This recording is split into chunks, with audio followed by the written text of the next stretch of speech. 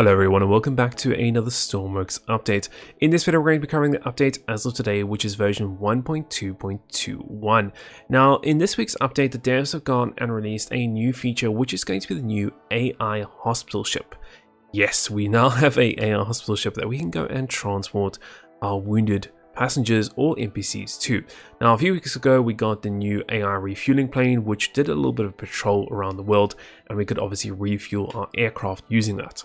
Now devs have added onto that, obviously being more focused on missions in the moment, uh, they've gone and added this hospital ship that kind of just roams around the world and you can go and uh, pretty much deliver your NPCs to it. So this will act as a brand new hospital, just like you have all the other hospitals in the world.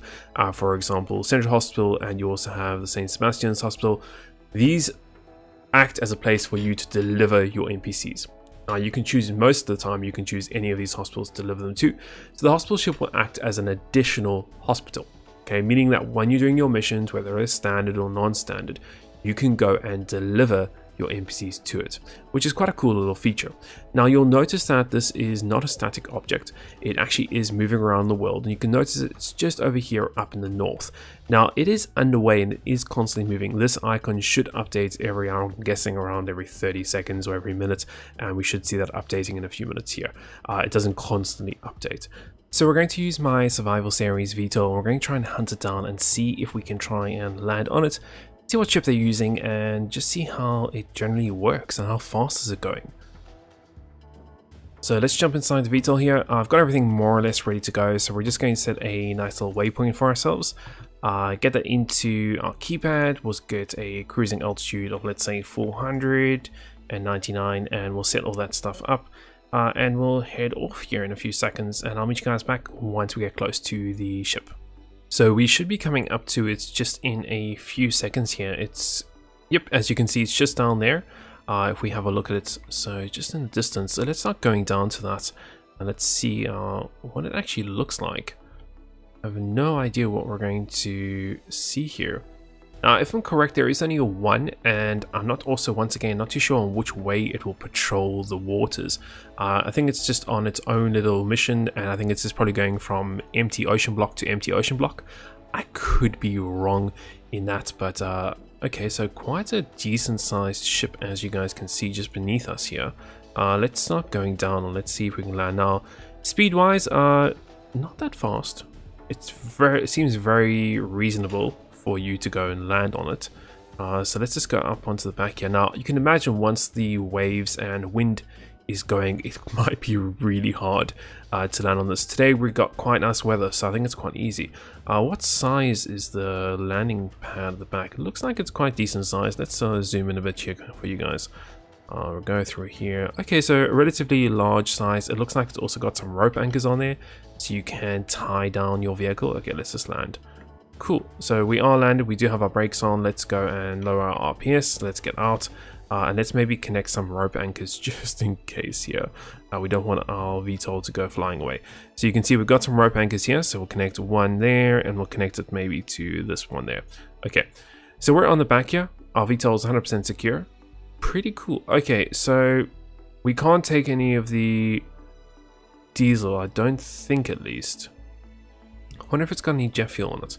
Doesn't look like it though. No. Okay, it's just got a bunch of winch points, uh, some anchors and things. I do like this though, that you can possibly take this and then connect it to somewhere on your aircraft. So let's connect it over here, for example. And I think we could possibly winch this in. Let's do so. Winch in. Yes, you can. So you can really secure your your aircraft on here if you're worried about it falling off or anything. Uh, we've got a hangar door. I wonder if this opens. No, it doesn't. Okay, so you you can go in here. Oh, so it looks like an little AI area. We got some beds and things. So this is cool. So this would act as one big hospital place. So I'm guessing what would happen is that you would land, you would have your NPCs in here, you would just pretty much bring them in here, and as soon as they come into this zone, um, for example here, rescue zone, then they would be activated as being in a hospital. But the nice thing is also we do have empty beds, so if you're playing multiplayer and things and you are really low in health, you can bring your friends here if need be. Uh, and I'm guessing the rest of it this is all probably locked and we can't go through it. Uh, yeah, so everything else is locked. So yeah, so this is the Mobile Rescue Hospital. I think it's really cool. I think it's a great idea.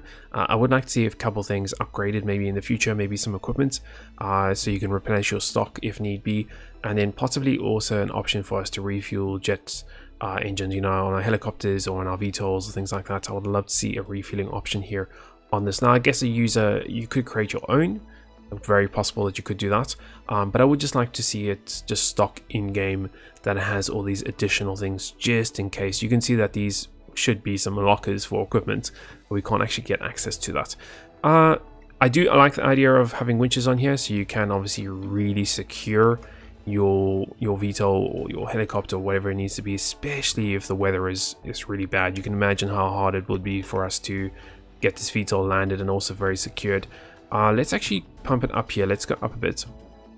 Let's just take off.